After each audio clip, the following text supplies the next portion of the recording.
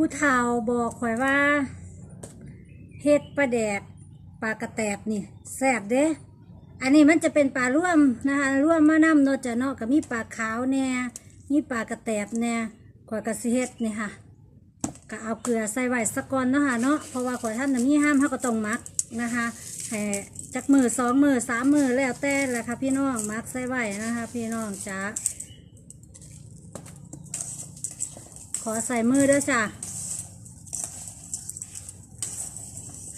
ให้มันโตมันแข็งเนาะค่ะเนาะเฮาจะมาบีบมาขันใส่กับอันห้ามนะคะ พี่น้องช่วงนี้ก็เอาเกลือใส่ไว้สักก่อนจ้ะ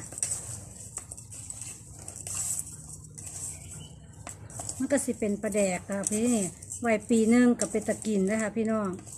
ไว้ปีหนึงกับเป็นตะกินค่ะพี่น้องจ้านี่ก็คือการที่นะคะ อีสานบานเฮานะคะคนอีสานนี่ค่ะพี่น้องจ้าจะประมาณนี้ละค่ะ